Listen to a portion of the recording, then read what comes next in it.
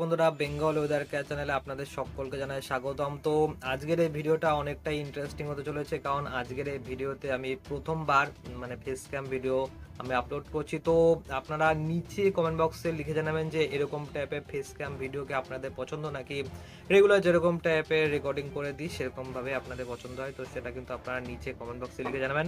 তো আমরা দেরি না করে বর্তমানে যেটা দিকে নজর রাখব, সেটা হচ্ছে কারেন্ট সিচুয়েশনের পরিস্থিতি কেমন টাইপের রয়েছে। সেটার দিকে কিন্তু বন্ধুরা সবার আগে আমরা নজর রাখব এবং যেটা আমরা এই মুহূর্তে দেখতে পাচ্ছি যে বর্তমানে কিন্তু বন্ধুরা পুরুলিয়া, বাঁকুড়ার এই সমস্ত এলাকাগুলোর দিকে এই মুহূর্তে কিন্তু মেঘাচ্ছন্ন আকাশ অলরেডি শুরু হয়ে গিয়েছে। বর্তমানে পরিস্থিতি অনুযায়ী এখানটায় পুরুলিয়া এবং বাঁকুড়ার দিকে আপনারা দেখতে পাচ্ছেন যে এখানটা কিন্তু রেড কালারের এই অংশটা কিন্তু বেশি রয়েছে। পুরুলিয়া এবং বাঁকুড়ার দিকে কিন্তু রেড কালারের এই অংশটা কিন্তু সব থেকে বেশি রয়েছে। অর্থাৎ এই এলাকাগুলোর ক্ষেত্রে কিন্তু বন্ধুরা একটু একটু করে বৃষ্টিপাতের সম্ভাবনাটা বাড়বে। তো এই মুহূর্তে যদি আমরা একটু একটু করে ট্র্যাকটাকে চালিয়ে দিই তাহলে কিন্তু বন্ধুরা আপনারা দেখতে পাবেন যে ধীরে ধীরে কিন্তু মেঘের যে আহ, একখানা পরিস্থিতি সেটা কিন্তু পশ্চিম বাংলা থেকে ধীরে ধীরে বাংলাদেশের দিকে যাচ্ছে এবং যত বেশি লালের স্পটটা বাড়বে সেখানে সেখানে কিন্তু একটু একটু করে বৃষ্টিপাত বাড়বে। অর্থাৎ এই মুহূর্তে কিন্তু আলিপুর আবহাওয়া তরফ থেকে অলরেডি সতর্ক বার্তা দেওয়া হয়েছে যে বর্তমানে কিন্তু তিরিশ থেকে চল্লিশ কিলোমিটার কোথাও কোথাও চল্লিশ থেকে পঞ্চাশ কিলোমিটার প্রতি ঘণ্টার গতিবেগ নিয়ে কিন্তু দমকা বাতাস বইবে এবং এখানে সব থেকে বেশি সম্ভাবনা রয়েছে পুরুলিয়া এবং বাঁকুড়া। এই এলাকাগুলোর ক্ষেত্রে কিন্তু পুরুলিয়া, বাঁকুড়া, রঘুনাথপুর, এখানে কিন্তু বন্ধুরা বৃষ্টিপাতের সম্ভাবনা রয়েছে এবং হতে পারে এখানে বৃষ্টিপাত হচ্ছেও। তবে অন্যদিকে বর্ধমান কিংবা কাটোয়ার আশেপাশের দিকে কিংবা নদিয়ার দিকে যদি যায় তাহলে সেখানে মেঘাচ্ছন্ন আকাশই রয়েছে। বৃষ্টিপাতের তেমন এই মুহূর্তে সম্ভাবনা নেই, তবে হালকা থেকে মাঝারি বৃষ্টিপাতের একখানা সম্ভাবনা সেটা কিন্তু রয়েছে পুরুলিয়া এবং বাঁকুড়ার দিকে। মাঝারি পরিমাণে বৃষ্টিপাত থাকবে। যদি আমরা এখানটা নিচের দিকে একটু আসি তাহলে সেখানটা কিন্তু দীঘা এবং মন্দারমণি, এখানেও কিন্তু বন্ধুরা বৃষ্টিপাতের একখানা সম্ভাবনা রয়েছে। বাংলাদেশের দিকেও একটু একটু করে বৃষ্টিপাত বাড়বে। তো দেরি না করে আমরা এই মুহূর্তে যেটা দিকে নজর রাখব সেটা হচ্ছে, একেবারে চলে যাব আমরা বজ্রবিদ্যুৎ সহ বৃষ্টিপাতের মোড়ে এবং কারেন্ট সিচুয়েশন নিয়ে আমরা একটুখানি বিস্তারিত আলোচনা করব যে কোথায় কোথায় বৃষ্টিপাত হতে পারে। যেটা আপনারা দেখতে পাচ্ছেন যে এই মুহূর্তে এখানে কিন্তু বাঁকুড়ার দিকে এবং বাঁকুড়ার ঠিক নিচে এই জায়গাটায় ক্ষেত্রা, আশেপাশের দিকে চন্দ্রকোনা এবং আরামবাগের দিকে এই জায়গাটা কিন্তু বন্ধুরা একটু একটু করে বৃষ্টিপাতের সম্ভাবনাটা বাড়বে এবং যথেষ্ট বেশি বৃষ্টিপাতের সম্ভাবনা রয়েছে ওভারঅল মাঝারি থেকে ভারী বৃষ্টিপাতের সম্ভাবনা এখানে থাকবে।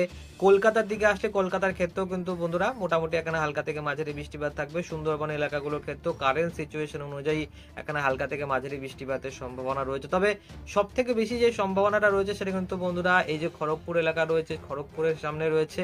দীঘা, মন্দারমণির দিকে রয়েছে, কিছুটা পুরুলিয়ার দিকে রয়েছে, কিছুটা বাঁকুড়ার দিকে রয়েছে। তো এই এলাকাগুলোর ক্ষেত্রে কিন্তু সব থেকে বেশি বৃষ্টিপাতের সম্ভাবনা রয়েছে। এই মুহূর্তে আমরা দেখার চেষ্টা করব যে বাংলাদেশের ক্ষেত্রে কি হতে পারে। যেটা আপনারা দেখতে পাচ্ছেন যে বাংলাদেশের ক্ষেত্রে কিন্তু একটুকু আমরা বৃষ্টিপাত তেমনভাবে একটা দেখতে পাচ্ছি না। মোটামুটিভাবে কিন্তু বাংলাদেশের আকাশ পরিষ্কারই রয়েছে। আজকের দিনকে ক্ষেত্রে আমরা রাত্রিবেলার দিকটা একটু দেখব যে রাত্রিবেলার ক্ষেত্রে বাংলাদেশের পরিস্থিতি কি হতে পারে।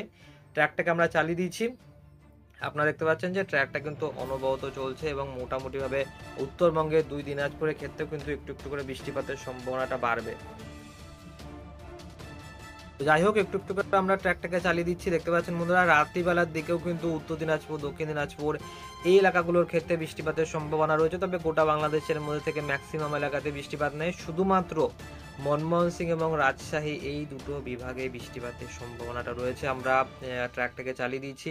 আগামী কালকের দিনটা একটু দেখব। তারপরে আমরা চলে যাব আলিপুর আবহাওয়া দপ্তরের লেটেস্ট রিপোর্টে দেখতে পাচ্ছেন বন্ধুরা, সকালবেলা সাতটার দিকে আগামী কালকের দিনের ক্ষেত্রে বেশ ভালোই বৃষ্টিপাতের সম্ভাবনা রয়েছে, এখানটায় চন্দ্রকোনা রয়েছে এখানটায় কলকাতা দেখতে পাচ্ছি, যেখানটায় মাঝারি বৃষ্টিপাতের সম্ভাবনাটা কিন্তু রয়েছে, আপনারা দেখতে পাচ্ছেন এই মুহূর্তে। হলদিয়ার আশেপাশের দিকেও বৃষ্টিপাত থাকবে।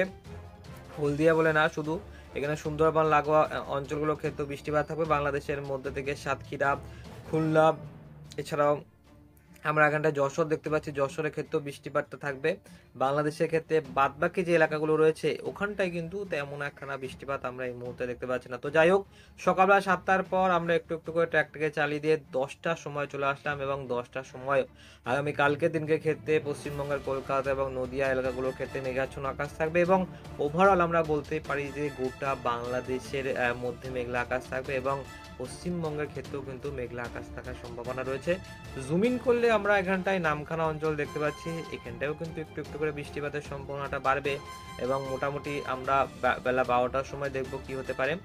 বেলা বারোটা থেকে একটার দিকে দেখতে পাচ্ছেন বন্ধুরা। বেলা বারোটা থেকে একটার দিকে পশ্চিমবঙ্গের মধ্যে থেকে পুরুলিয়া, বাঁকুড়া, বর্ধমান, নদিয়া প্রত্যেকটা এলাকাতে হালকা থেকে মাঝারি বৃষ্টিপাত কিংবা মেঘাচ্ছন্ন আকাশ থাকার সম্ভাবনা রয়েছে। অর্থাৎ আগামী কালকের দিনকেও কিন্তু ফির আরও একবার বৃষ্টিপাতের মুখোমুখি হতে হবে দুই বঙ্গবাসীদের ক্ষেত্রে এবং যদি আমরা এই জায়গাটায় বাংলাদেশের দিকে তাকাই তো বাংলাদেশের মনমোহন সিং এবং সিলেট এবং কালাই বিভাগ কিছুটা রংপুর বিভাগের ক্ষেত্রে বৃষ্টিপাত থাকবে, দুই দিনাজপুরের ক্ষেত্রে বৃষ্টিপাত থাকবে।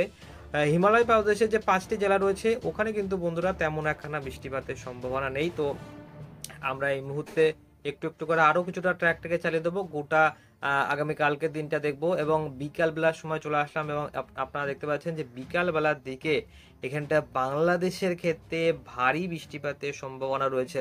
কোথায় কোথায় রয়েছে? আপনারা দেখতে পাচ্ছেন যে রাজশাহী রয়েছে, মোহানপুর রয়েছে, বগুড়া রয়েছে এবং সরিষাগঞ্জ, মনমোহন সিং এর আশেপাশের দিকে কিছু কিছু এলাকা রয়েছে। কিশোরগঞ্জের আশেপাশের দিকেও কিন্তু বন্ধুরা ভালোই ভারী বৃষ্টিপাত থাকবে। অলমোস্ট কুড়ি মিলিমিটারের কাছাকাছি বৃষ্টিপাতের সম্ভাবনা রয়েছে। যথেষ্টই বৃষ্টিপাত ঘটবে।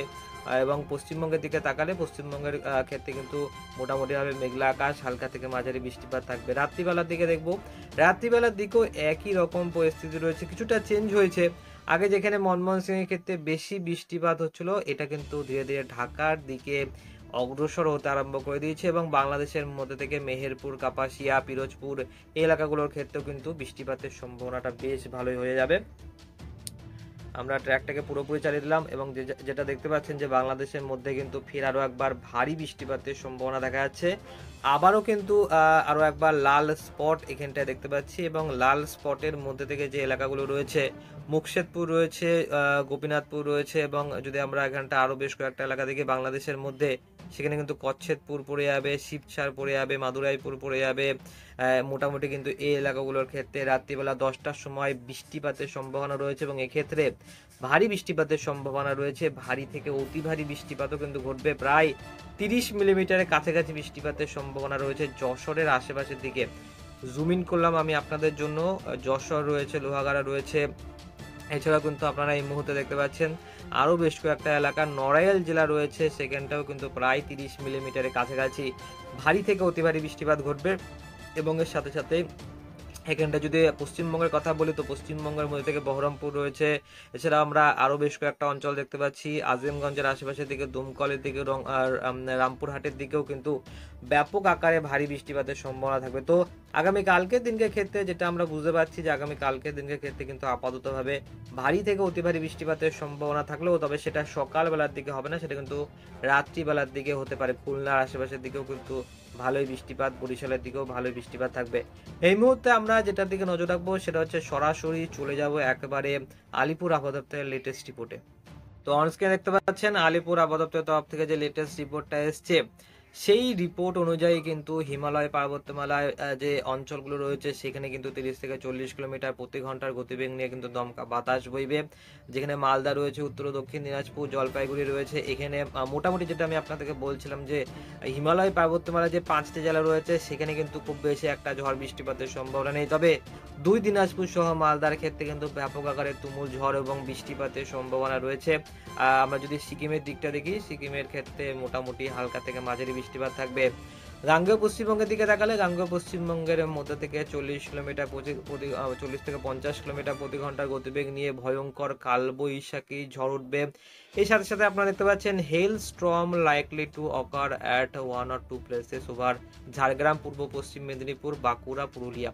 অর্থাৎ ঝাড়গ্রাম পূর্ব পশ্চিম মেদিনীপুর এবং বাঁকুড়া, পুরুলিয়ার ক্ষেত্রে কিন্তু মোটামুটি চল্লিশ থেকে পঞ্চাশ কিলোমিটার প্রতি ঘণ্টার গতিবেগে কালবৈশাখী ঝড় ওঠার সাথে সাথে এখানে কিন্তু বন্ধুরা শিলা বৃষ্টিপাতের একখানা সম্ভাবনা রয়েছে। বিহারের দিকে ক্ষেত্রেও কিন্তু ঝড় বৃষ্টিপাত থাকবে, ঝাড়খণ্ডের ক্ষেত্রেও মোটামুটি ঝড় বৃষ্টিপাত থাকবে, উড়িষ্যার দিকেও মোটামুটি কিন্তু বেশ ভালোই ঝড় বৃষ্টিপাতের সম্ভাবনা রয়েছে।